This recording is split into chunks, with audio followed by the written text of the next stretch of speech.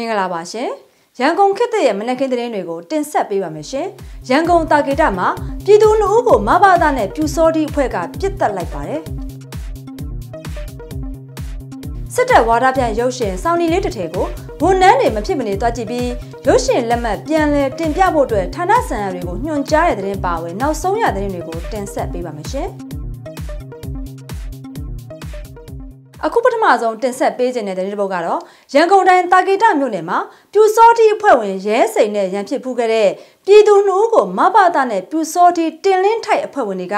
ပြစ်သက်သွားတယ်လို့ဒေသခံပြည်သူချို့ကပြောပြပါဗျ။မလ19ရက်နေ့ည9:00နာရီအချိန်မှာတာဂေတမြို့နယ်ရှေ့ရက်ကွက်အေယာဝန်လမ်းနဲ့နဝရက်လမ်းတောင်တာသနာရက်ခရတဓမ္မယုံဘေးမှာဖွင့်လှစ်ထားတဲ့ရေခဲဆိုင်မှာကြံရည်ကျိတ်နေသူနှုတ်ကိုမဘာသာနဲ့ပြူစောတိတင်လင်းထိုက်အဖွဲ့ဝင်တွေက ပြစ်တက်သွားတာလည်းဖြစ်ပါတယ်အပြစ်ခံရသူနှစ်ဦးဟာဓမ္မယုံဘေးရေခဲဆိုင်မှာအေးရောက်နေတဲ့အေးဆိုင်ပိုင်ရှင်ကိုညိုကြီးနဲ့ကိုဖြိုးဝေအောင်တို့ဖြစ်ပြီးမနစ်ကဒီဇင်ဘာမှာပြူစောတီရဲစင်အဖြစ်ခံရတာဟာကိုညိုကြီးတို့လက်ချက်ဖြစ်တယ်ဆိုပြီးတင်လင်းထိုက်အဖွဲ့ကဝင်းပစ်သွားတာဖြစ်တယ်လို့ဒေတာကန်သတင်းရင်းမြစ်ကပြပြပါဗျ။မဘာသာနဲ့ပြူစောတီအဖွဲ့ကပြစ်ခတ်မှုကြောင့် တေဆုံးသူနှုတ်ဟာတာမန်ပြည်သူတွေသာဖြစ်ပြီးသတင်းပေးဒလန်လည်းမဟုတ်ဘဲ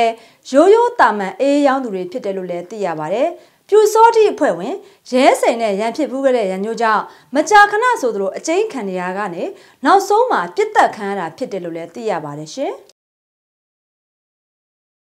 မကွေးတိုင်းတဲ့တပုတ်ကိုကြည့်အောင်ပါမကွေးတိုင်းရေဇိုမြို့နယ်ရေလက်ကျွန်းဒေသက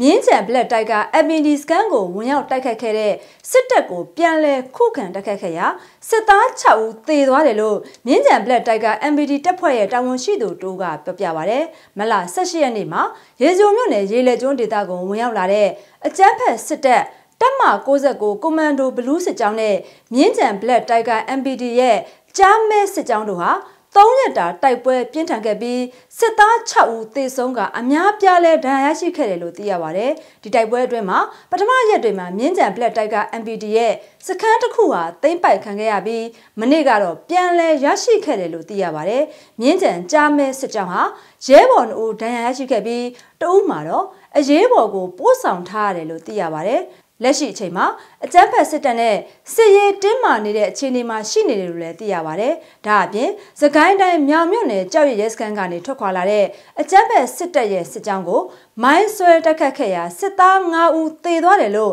MSPDF တပ်ဖွဲ့ရဲ့တာဝန်ရှိသူတူကရန်ကုန်ခေတ်သစ်မီဒီယာကိုပြောပြပါရရှင်။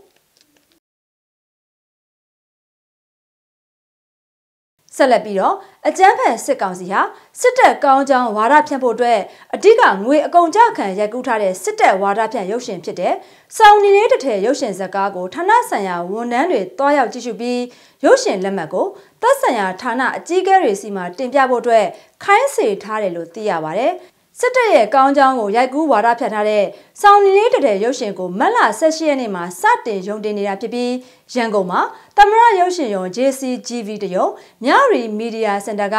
Star City မှာတို့မှာပြသနေတာလည်းဖြစ်ပါတယ်။မန္တလေးကဝင်းလာရုပ်ရှင်ရုံနေပြည်တော်ကဩတရသရီ Ocean JCGV ဇေယျတိတိတို့မှာပြသနေတာလည်းဖြစ်ပါတယ်။ကြည့်ရှုသူမရှိတဲ့အတွက်ကြောင့် ဝန်ထမ်းတွေကိုတွားရောက်ကြည့်ရှုပြီးလက်မှတ်တွေကိုဌာနဆိုင်ရာအကြီးအကဲတွေစီကိုတင်ပြဖို့အတွက်ညွှန်ကြားနေတာဖြစ်တယ်လို့လည်းသိရပါတယ်။ဆောင်းနီလေးတထဲရုပ်ရှင်ဇာတ်ကားကိုဒိုင်တာတင်အောင်ဆိုပန်းမြို့တော်ကရိုက်ကူးထားတာဖြစ်ပြီးရန်အောင်စိုးမြတ်သူစာစိုးမြတ်နန္ဒာကျော်စောဟိနခက်အယ်လီနိုအဆိုင်စီနေအောင်တိဟနိုင်တားထွေးတို့လိုစစ်တပ်ထောက်ခံတဲ့တရုတ်ဆောင်တွေကပါဝင်တရုတ်ဆောင်ထားကြတာလည်းဖြစ်ပါတယ်ရှင်။ စကိုင်းတန်တဲ့တပုတ်ကိုတင်ဆက်ပေးခြင်းပါတယ်။စကိုင်းတန်ကန့်ဘလူးမြို့နယ်ကန့်ဘလူး6006တင်ကားတရင်ကဘိုးစရာထွန်းဟာမက်လာ18ရက်နေ့မနက်ပိုင်းချိန်က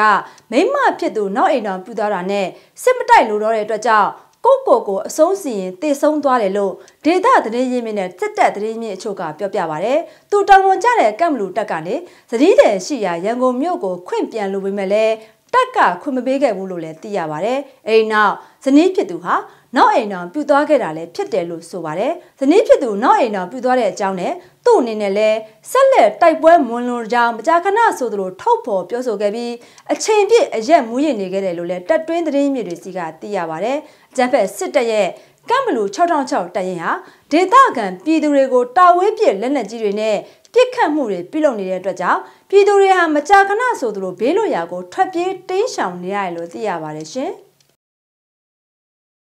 အခုနောက်ဆုံးတင်ဆက်ပေးခြင်းတဲ့တဲ့ပုတ်ကတော့မကွေးတိုင်းရေဂျိုမြို့အမှတ်နှစ်စီပင်တရားရဲ့ရက်ကွက်မှာရှိနေတဲ့ဌာနဆိုင်ရာရုံးမှာတက်ဆွဲထားတဲ့အကြမ်းဖက်စစ်သားတွေကို လောင်ချာနဲ့ဝင်ရောက်ပစ်ခတ်တိုက်ခတ်ခဲ့တယ်လို့မြင်းကြံဘလက်တိုက်ကကတာဝန်ရှိသူတူကပြောပြပါဗျ။မတ်လ18ရက်နေ့ည9:00နာရီအချိန်မှာရေဂျိုမြို့ရုံးပေါင်းစုံမှာတက်ဆွဲထားတဲ့အကြမ်းဖက်စစ်သားတွေကိုတာဝင်းပစ်လက်နက်ကြီးနဲ့ဝင်ရောက်ပစ်ခတ်ခဲ့တဲ့ပြင်လက်နက်ငယ်တွေနဲ့လည်းပစ်ခတ်တိုက်ခတ်ခဲ့ရာကျန်းဖက်စစ်သားအများအပြားထိခိုက်သေဆုံးနိုင်တယ်လို့သိရပါတယ်။အလားတူမက်လာ18ရက်နေ့ညနေ3:50မိနစ်မှာလဲသခိုင်းတိုင်းရွှေဝုံမြို့နယ်စီပင်တရားရေးရုံးက